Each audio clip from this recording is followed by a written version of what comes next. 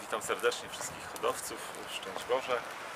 Chcę zaprosić do kolejnej aukcji na rzecz e, barki domów dla bezdomnych. To już tradycja od 2008 roku, kiedy e, Rainer Pytman ofiaruje swoje gołębie na rzecz domów dla bezdomnych e, w Barka w Strzelcach Opolskich. I tym razem także podarował kilkanaście e, gołębi. Tak się stało, że część gołębi zostało zamówionych już wcześniej przez hodowców.